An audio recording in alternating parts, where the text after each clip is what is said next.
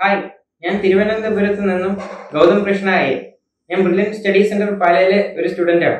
ഇപ്രാവശ്യത്തെ നീറ്റ് പരീക്ഷയിൽ എനിക്ക് six eighty മാർക്സും all India rank eight forty നയനും അതുപോലെ തന്നെ ജെയ് മെയിൻസ് പരീക്ഷയിൽ നയന്റി നയൻ പോയിന്റ് ഫൈവ് പെർസെന്റേജും ലഭിക്കാൻ സാധിച്ചു. അപ്പോൾ എനിക്ക് ഏറ്റവും ആദ്യം നന്ദി പറയാനുള്ളത് എന്റെ അച്ഛനും അമ്മയ്ക്കും പിന്നെ ബ്രില്യൻ സ്റ്റഡി സെന്റർ പാലയിലെ ഡയറക്ടറായ ജോർജ് സാറിനും അതുപോലെ എന്റെ ക്ലാസ് ടീച്ചറായ അഖിലേനും ടീച്ചറിനും എബിൻ സാറിനുമാണ്. അതിനുപരി ദൈവത്തിനുമാണ് എനിക്ക് നന്ദി പറയാനുള്ളത്. പിന്നെ പഠന കുറിച്ച് പറയുകയാണെങ്കിൽ ബ്രില്യൻ പാലയുടെ ക്ലാസ്സസ് ഞാൻ ശരിയായ രീതിയിൽ കണ്ടിരുന്നു. അതിനുശേഷം പീരിയോഡിക്കലി എക്സാംസ് ബ്രില്യൻ പാല നടത്തി വരുന്നുണ്ടായിരുന്നു. ഓരോ എക്സാംസിനായിട്ട് ഞാൻ പഠിച്ചു. എന്നിട്ട് അന്ന് ഓഫ്ലൈനായിട്ട് എഴുതാനാണ് ഞാൻ കൂടുതൽ ഇമ്പോർട്ടൻസ് കൊടുത്തിരുന്നത്. പിന്നെ എക്സാംസ് എഴുതുന്ന ഓരോ ദിവസവും റിസൾട്ട് അനാലിസിസും ഡയറക്ടർ സ്പീച്ചും ഉണ്ടാകുന്നതാണ്. റിസൾട്ട് റിസൾട്ട് അനാലിസിസിലൂടെ ആഹ് എന്റെ പൊസിഷൻ എനിക്ക് മനസ്സിലാക്കാൻ സാധിച്ചു. ഡയറക്ടർ സ്പീച്ച് അതായത് എന്റെ ജോർജ് സാറിന്റെ സ്പീച്ചിലൂടെ എനിക്ക് വളരെയധികം മോട്ടിവേഷൻ കിട്ടുകയും അത് അടുത്ത എക്സാംസിന് എങ്ങനെ അത് നമുക്ക് ഇൻകൾക്കേറ്റ് ചെയ്യാം അതായത് അതെങ്ങനെ ശരിയാക്കാമെന്ന് എനിക്ക് മനസ്സിലാക്കാൻ സാധിച്ചു. പിന്നെ പിന്നീടുള്ള എക്സാം ഈ ഒരു എക്സാമിനുണ്ടായ മിസ്റ്റേക്സ് മനസ്സിലാക്കി. മുന്നോട്ടുള്ള എക്സാംസും ഞാൻ അങ്ങനെ ആ മിസ്റ്റേക്സ് റെക്ടിഫൈ ചെയ്തുകൊണ്ട് മുന്നോട്ട് പോയി. ഒടുവിൽ യൂണിറ്റ് എക്സാംസ് എത്തി. അപ്പോൾ ഡൗട്ട് ഡൗട്ട്ഫുൾ ആയ ടോപ്പിക്സ് അതൊന്ന് പഠിക്കുകയും പിന്നെ അറിയാവുന്ന ടോപ്പിക്സ് റിവൈസ് ചെയ്തുകൊണ്ടായിരുന്നു എന്റെ പഠന രീതി. പിന്നെ ഫുൾ യൂണിറ്റ്സ് എക്സാം എത്തി. അപ്പോൾ കൂടുതലും ഫുൾ എക്സാംസ് എഴുതുന്നതിനാണ് ഇമ്പോർട്ടൻസ് കൊടുത്തത് ആ ടൈം ലിമിറ്റിൽ അപ്പോൾ അങ്ങനെ എഴുതി എഴുതി ടൈം മാനേജ് ചെയ്യുന്ന സ്കിൽ എനിക്ക് ലഭിക്കാൻ എനിക്ക് ലഭിച്ചു. പിന്നെ ബ്രില്യൻ പാലയുടെ എ പ്ലസ് എക്സാംസ് വളരെയധികം ഹെൽപ്ഫുൾ ആയിരുന്നു. ടഫായ ക്വസ്റ്റ്യൻസ് ലിമിറ്റഡ് എമൗണ്ട് ഓഫ് ടൈമിൽ ചെയ്തു തീർക്കാൻ ഉള്ള ഒരു കേപ്പബിലിറ്റിയാണ് എനിക്ക് എ പ്ലസ് എക്സാംസിൽ നിന്നും ലഭിച്ചത്. അത് ഈ നീറ്റ് എക്സാമിന് എനിക്ക് വളരെയധികം അത് ഭയങ്കര ഹെൽപ്ഫുൾ ആയിട്ട് എനിക്ക് തോന്നി. പിന്നെ എനിക്ക് പറയാനുള്ള ബ്രില്യൻ പാലയുടെ ലൈബ്രറി വളരെ എക്സ്റ്റെൻസീവും വൈഡ് റേഞ്ച് ഓഫ് ബുക്സ് ഉള്ള ഒരു ലൈബ്രറിയാണ് അപ്പോൾ നമ്മുടെ വീക്ക്നെസ് മനസ്സിലാക്കിക്കൊണ്ട് നമുക്ക് അതിൽ നിന്നും നമുക്ക് ആ ലൈബ്രറിയിൽ നിന്നും ബുക്സ് എടുക്കാൻ പറ്റും. ആ ബുക്സ് സോൾവ് ചെയ്യുന്നതിലൂടെ എനിക്ക് വളരെയധികം അത് ഭയങ്കരമായിട്ട് ഹെൽപ്ഫുൾ എനിക്ക് തോന്നി. അതിനുശേഷം പുല്ലമ്പലയുടെ ആപ്പും വളരെ ഹെൽപ്ഫുൾ ആയിരുന്നു. അതിൽ നിന്ന് ഡൗട്ട്ഫുൾ ആയ ടോപ്പിക്സിന്റെ വീഡിയോസും അതുപോലെ തന്നെ നമുക്ക് എക്സാംസും ക്വസ്റ്റ്യൻസ് അങ്ങനെ കൂടുതൽ കാണാൻ സാധിച്ചു. പിന്നെ ഡൗട്ട്സ് അതിലൂടെ ക്ലിയർ ചെയ്യാനും സാധിച്ചു. ഡിസ്കഷനിൽ നിന്നും ഈ ടോപ്പേഴ്സിന്റെ കുറച്ച് പോയിന്റ്സും അങ്ങനെ കുറച്ച് ഐഡിയാസും പഠന രീതിയിൽ ഐഡിയാസും എനിക്ക് കിട്ടി.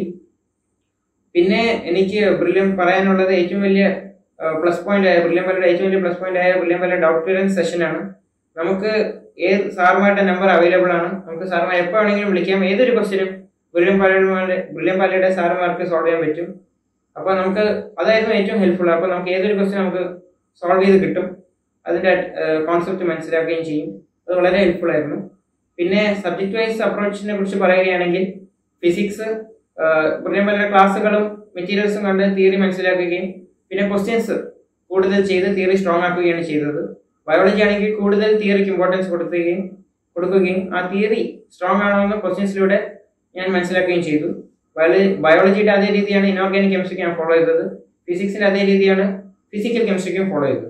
ഓർഗാനിക് കെമിസ്ട്രിയിലെ തിയറിയും അതുപോലെ ക്വസ്റ്റ്യൻസ് രണ്ടിനും ഇമ്പോർട്ടൻസ് കൊടുത്ത്. ക്വസ്റ്റ്യൻസ് കുറേ ചെയ്ത് തിയറി സ്ട്രോങ് ആക്കി.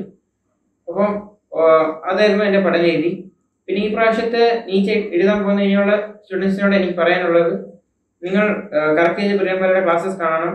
എക്സാംസ് ഒന്നും തന്നെ മുടങ്ങരുത്.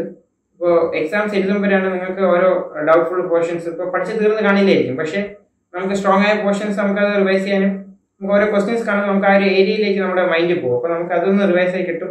പിന്നെ എവിടെയൊക്കെ എനിക്ക് ഡൗട്ട് ഉണ്ടെന്ന് മനസ്സിലാക്കാൻ പറ്റും. അത് ഭയങ്കര ഹെൽപ്ഫുൾ ആണ്. ഒരിക്കലും എക്സാം നിങ്ങൾ ഒഴിവാക്കരുത്. എന്ത് എക്സാം എഴുതിയിരിക്കണം അറ്റ് എനി കോസ്റ്റ് അതാണ് എനിക്ക് പറയാനുള്ളത്. പിന്നെ എക്സാം എഴുതിയതിന് ശേഷം അനാലിസിസിലൂടെ നമുക്ക് എവിടെ മിസ്റ്റേക്ക് വന്നു ടോപ്പർ വന്ന സ്റ്റുഡന്റ് എന്താണ് ചെയ്തത്? എനിക്ക് എവിടെയാണ് തെറ്റ് പറ്റിയത് എനിക്ക് എങ്ങനെ അവിടെ എത്താൻ പറ്റും? അപ്പോൾ അങ്ങനെ ആലോചിച്ചുകൊണ്ട് നമ്മളൊരു അങ്ങനെ ഓരോ എക്സാമിനെയും അങ്ങനെ ഇങ്ങനെ മുന്നോട്ട് ഒരു ഇമ്പ്രൂവ്മെന്റോടുകൂടി പോയി കഴിഞ്ഞാൽ നമ്മൾ പതുക്കെ ഇമ്പ്രൂവ് ഇമ്പ്രൂവ് നമ്മൾ പോലും പ്രതീക്ഷിക്കാതെ നമ്മൾ നല്ലൊരു ലെവലിലേക്ക് നമ്മൾ വിചാരിക്കുന്ന ലെവലിലേക്ക് തന്നെ നമുക്ക് എത്താൻ സാധിക്കും.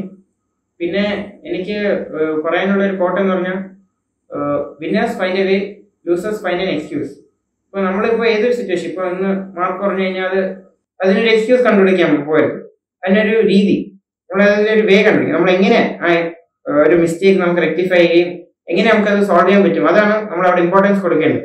അപ്പൊ അങ്ങനെ സോൾവ് ചെയ്ത് പഠിച്ചു കഴിഞ്ഞാൽ കിട്ടാവുന്നത് എക്സാം മാത്രമാണ് മാത്രമേ ഉള്ളൂ നീറ്റ് എന്ന് പറയുന്നത്. അപ്പൊ നമ്മളങ്ങനെ ഗ്രാജുവൽ ഇമ്പ്രൂവ്മെന്റും ആ ഒരു പോസിറ്റീവ് തിങ്കിങ്ങും സെൽഫ് അനാലിസിസിലൂടെ എത്തിച്ചേരാൻ പറ്റുന്ന ഒരു ലെവലിലേക്ക് നമുക്ക് എത്തിച്ചേരാൻ പറ്റും നീറ്റിൽ അതായത് ഏതൊരു എൻട്രൻസ് എക്സാമിലും അങ്ങനെയാണ്. നിങ്ങൾ ഡിറ്റർമൈൻഡും പോസിറ്റീവായിട്ട് സെൽഫ് അനലൈസ് ചെയ്ത് പോയാൽ മാത്രം മതി. അപ്പം എല്ലാവർക്കും എന്റെ വിധ ആശംസകൾ. All the best thank you